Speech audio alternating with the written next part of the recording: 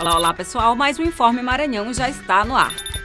Em matéria publicada pelo site El País Brasil, redigida pelo jornalista Breiler Pires, os estados do Maranhão e Alagoas são elogiados pelas suas atuais políticas de incentivo à leitura e investimentos em construções e reformas de bibliotecas públicas. Segundo o texto, a realização destas ações é viável principalmente por uma postura responsável das gestões com o orçamento dos estados.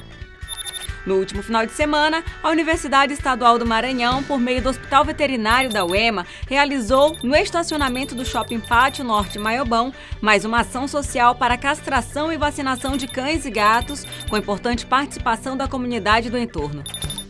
A Secretaria de Estado da Saúde recebeu 90 monitores multiparamétricos e 50 desfibriladores doados pelo Ministério da Saúde por meio do convênio com a Universidade Federal da Paraíba. A doação foi feita por meio do programa Parcerias para o Desenvolvimento Produtivo.